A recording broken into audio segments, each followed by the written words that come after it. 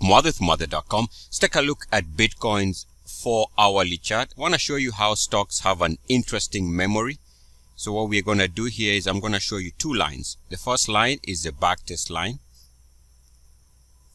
And I am calling it a backtest line because there was a break here which brought Bitcoin lower.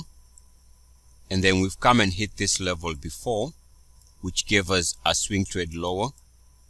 Now we're coming back and testing the same line. So clearly looks like Bitcoin is showing that it has a memory of this line. And obviously, if you're looking for a swing trade, this is where you take up a short position as long as the resistance continues on the back test here. Right now, it is confirming that it is showing resistance. So that's one line. Another way to look at this is to go back and take a look at our uniformity method. What we do, we take the recent break. The break is here.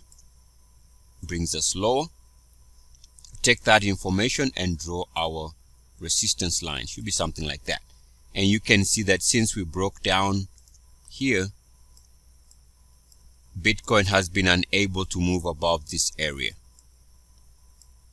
And again we are seeing the same type of resistance over the last couple of hours so if you combine the two lines line number one being this line here and then the second line being the backtest line you can conclude from this type of observation that as long as the two lines are giving us resistance you can position yourself to expect a swing trade to the downside.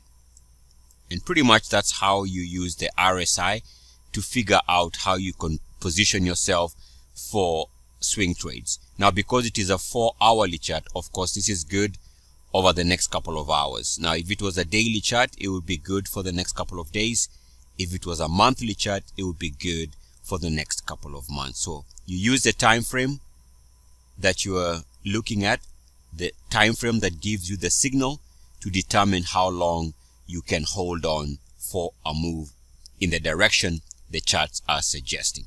Eric Muathe As always, good luck, peace, and blessings. E-A-C-S.